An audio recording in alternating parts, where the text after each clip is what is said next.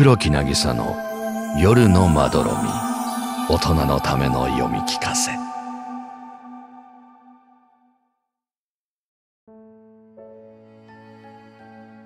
コンプラ太郎。昔々あるところにおじいさんとおばあさんがおりました。ある日おじいさんは山へ芝刈りに。おばあさんは川へ洗濯に行きました。おばあさんが洗濯をしていると川上から何かが流れてきます。コンプラコーコンプラコー。流れてきたのはモザイクに包まれた大きな何か。目を凝らしてみても何かわかりません。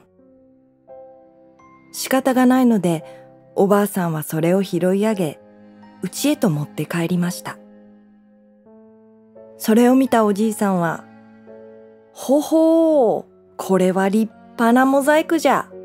どればあさんや一つ中身を覗いてみようじゃないか。そう言って大きな包丁でモザイクを真っ二つに割ってしまいました。するとたちまちまばゆい光があふれ、中から小さな赤ん坊が出てきたのです。おぎゃーおぎゃーおばあさんはびっくりして、おやおや、なんということでしょう。この赤ん坊は男の子か、それとも女の子か、と言いました。おじいさんはそれを聞いて赤ん坊の性別を確認しようとしましたが、そこにはしっかりとモザイクがかかっていて判別することができません。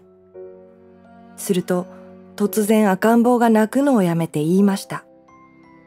おじいさん、おばあさん、初対面でいきなりそんなところを覗くのはコンプラに反しているのではありませんか？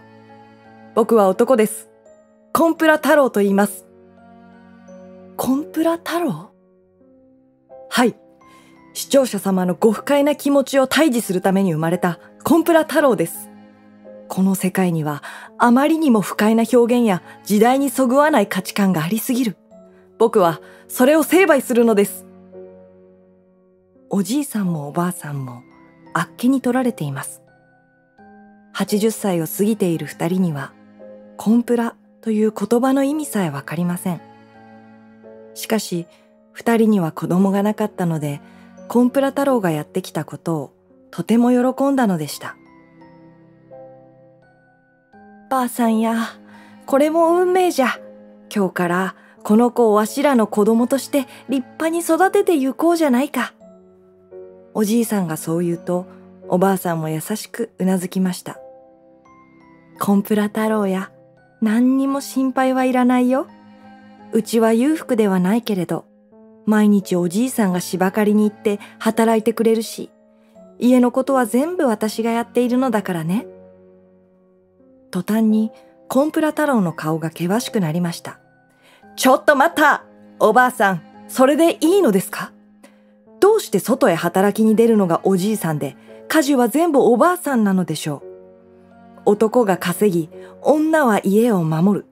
そういう古い価値観に縛られていいやしませんか？え？ダメなのかい？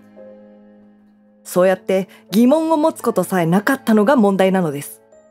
おばあさんだって芝刈りに出ればいいじゃないですか。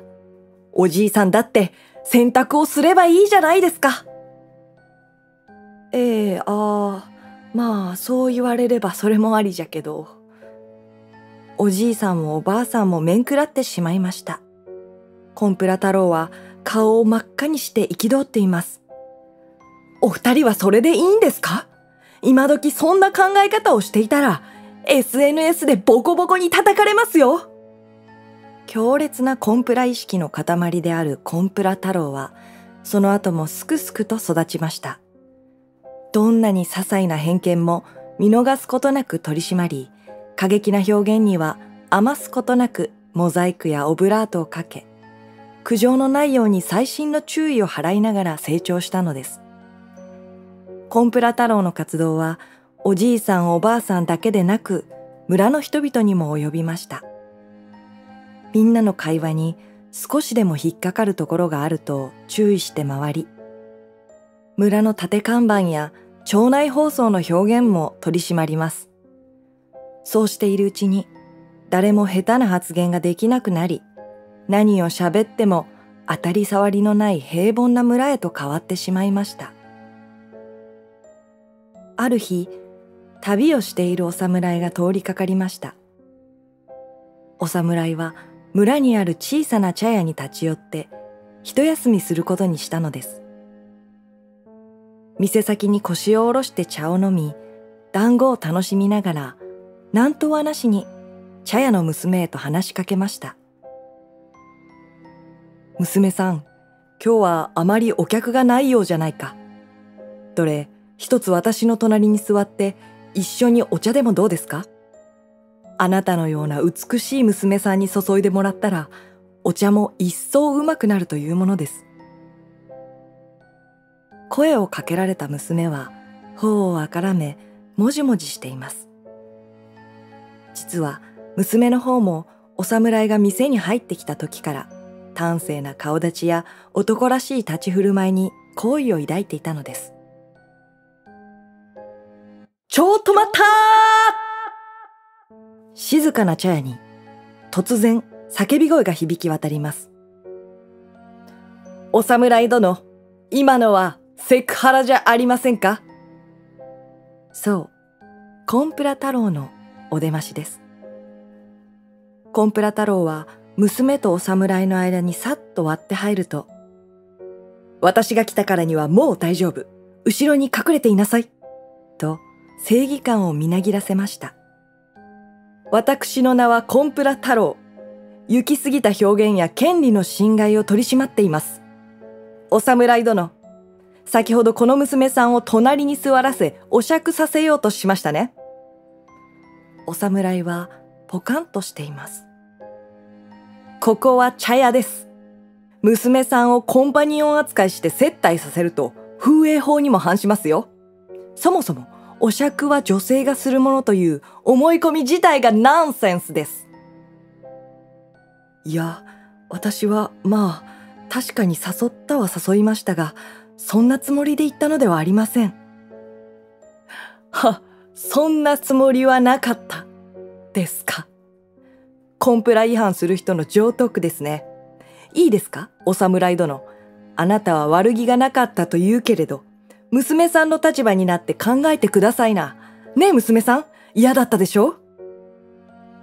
コンプラ太郎が振り返ると、娘は顔を真っ赤にしてわなわなと震えています。そして、きっと顔を上げると叫びました。もうコンプラやめてあんたのせいでこの村はめちゃくちゃよやれ、セクハラだ、赤ハラだ、性別差別だ、過激表現だ、いちいち騒ぎすぎなのよ。あのね、村人だってバカじゃないんだから、常識もあるし、言っちゃいけないことだってちゃんとわかってます。この村は、あんたが来るまでずっと平和だったんだから。それなのに、あんたが言葉狩りしまくったせいでどうなの？こんなにつまんない村になっちゃったじゃないのよ。コンプラ太郎はあまりの勢いに尻餅をつき、あっけに取られた様子で娘を見上げています。何ようちの看板に書かれた団子の絵が卑猥なものに見える可能性があるだとかで難癖つけて大きいモザイクかけたりして逆に卑猥に見えるわこんなもん。何よこれ。茶屋って書いてんのに看板全部モザイクかかって深読みしてくれって言ってるようなもんでしょ？娘の怒りは止まりません。コンプラ太郎はうろたえつつ、わ、私にはそんなつもりは、はい出た、そんなつもりはありませんでした。特大ブーメランおめでとうございますあんたね、世の中バランスが大切なの。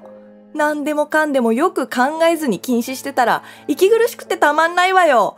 あんたさ、もうこの村から出て行ってよ。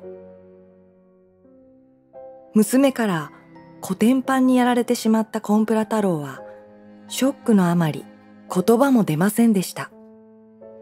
村人のためと信じてやっていたことが皆に疎まれていたなんて。この世から不適切表現をなくしたいネットいじめや古代広告をなくしたいと頑張ってきたのに。打ちひしがれたコンプラ太郎は村を出て近くの離島に一人で暮らすようになりました。孤独な島で悶々と答えを探しておりましたが、行き場のない怒りが積み重なり、やがて村人たちへの逆恨みという最悪の形になってゆきました。島を拠点に村への嫌がらせを始めたコンプラ太郎は、村人たちから鬼と呼ばれるようになりましたが、その後に現れた桃太郎という名の青年に討伐されたのは、それからずっと後のお話。おしまい。